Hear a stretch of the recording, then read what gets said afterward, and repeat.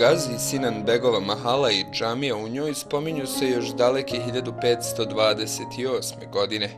Doktor Ejub Mušović navodi mogućnost da je Sinan Beg zajedno sa svojim bratom Abdullahom bio vlasnik ili zakupac rudnika na Rogozni ili Gluhavici. Oni su bili vrlo bogati. To bogatstvo su vakufili i poznati su kao graditelji džamija sa pratećim objektima Ova džamija je bila locirana u središtu Sinanbegove Mahale, koja je 1528. godine brojala 17 domaćinstava, 1540. 10 domaćinstava, a 1767. godine pominje se Sinanbegov džemat.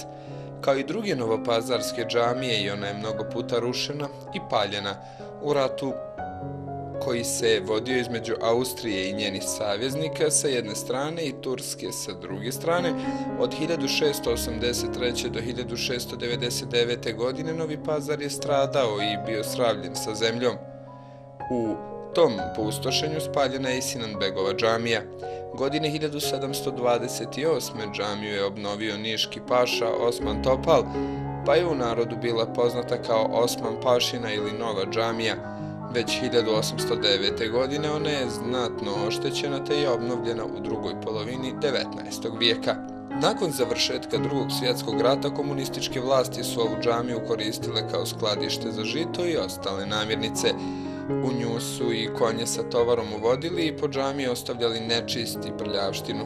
Iz ovog teškog perioda džamija je opstala kao veoma ruinirana građevina koja se uslijed pojave velike vlage i buđi a nakon skladištenja žita dobro oštetila. Njeni zidovi su vidno propali uslijed djelovanja vlage i glodara koji su se hranili u skladištenim žitom u njoj. Prije 20 godina džematski odbor je restaurirao džamiju, ali bez stručne pomoći, te je njeno stanje ostalo veoma teško i urušavajuće. Zbog takvih okolnosti, Mešihat Islamske zajednice Sanđaka 2005. godine angažuje stručnu komisiju koja je izvršila pregled džamije sa aspekta njene dalje upotrebljivosti i mogućnosti sanacije, o čemu je između ostalog komisija dala sljedeći zaključak.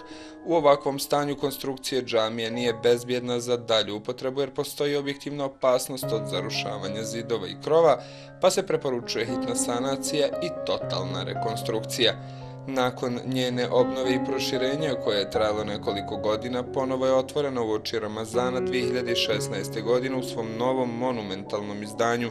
Džamija nije okružena modernim zgradama, zahvaljujući zelenim površinama oko nje koje su sačuvane u vidu gradskog parka i rekreacijonog centra, pa je njena monumentalnost vidno sačuvana.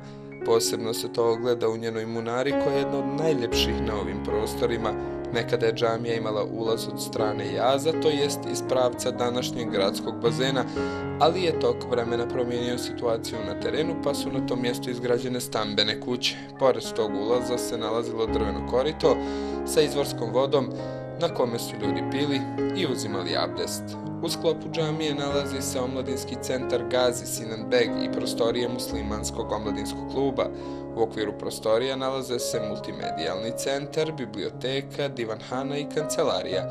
Prostorije su opremljene i projekati omladine koja uz pomoć razvojno-edukativnog društva uspjela da obezbijedi financije i opremi prostorije.